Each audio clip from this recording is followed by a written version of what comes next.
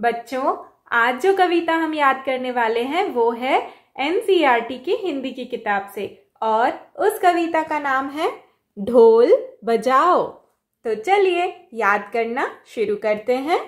ढोल बजाओ, ढम ढम ढम, बादल गरजे धम धम धम, बिजली चमके चम चम चम, पानी बरसे छम छम छम, ढोल बजाओ ढम ढम ढम। एक और बार पढ़ेंगे।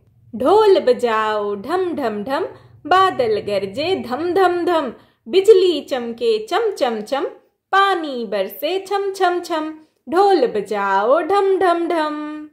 फिर से पढ़ेंगे।